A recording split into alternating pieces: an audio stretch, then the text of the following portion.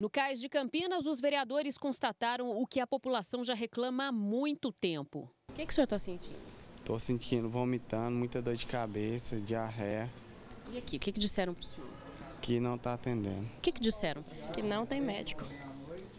Simplesmente isso, não tem médico. A escala previa quatro pediatras, quatro clínicos e um médico intensivista. Mas só os pediatras apareceram. E um único clínico geral ficou atendendo os casos de urgência. Seu Baltazar está há cinco dias internado no CAIS à espera de vaga para hemodiálise. A filha está angustiada com a demora e tem medo de que a situação do pai piore. A gente não tem condições de pagar um tratamento particular para ele. Por que, que ele ainda não foi transferido? O que, que falam para a senhora? Aguardando vaga.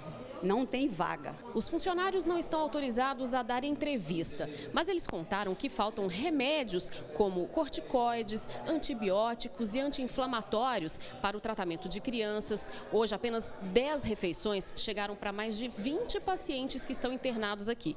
E eles reclamam ainda da estrutura aqui no Cais de Campinas. Por exemplo, ó, dá uma olhadinha no teto da sala de enfermagem. Muito mofo e infiltração. Uma situação totalmente inadequada. Né?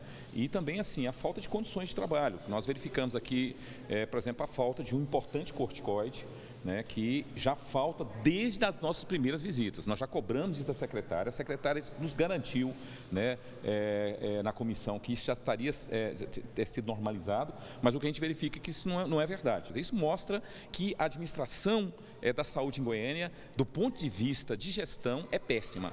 É péssima. Nós temos vários problemas, mas a incompetência é clara. Outra situação grave aqui no Cais de Campinas é que esta viatura do Corpo de Bombeiros está quase uma hora parada aqui porque veio trazendo um paciente esfaqueado, levou cinco facadas, um homem e oficialmente o Cais ainda não recebeu como um paciente. Então os bombeiros não sabem se ele acaba ficando aqui ou se eles vão ter que fazer o transporte para uma outra unidade e enquanto isso não podem voltar para as ruas, não podem continuar o atendimento. Momentos depois, o único médico que atendia no CAIS encaminhou o paciente para o hospital de urgências. Os vereadores ouviram médicos, servidores e pacientes.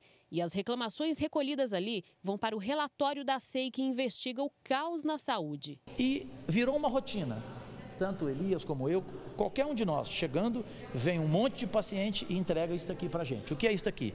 É pedir, pelo amor de Deus, para que a gente consiga vaga em UTIs, em outros hospitais, porque é gente com insuficiência renal, é diabético, é gente com situação grave que está aqui há 5, 6, 7, 8 dias e não há nenhuma solução.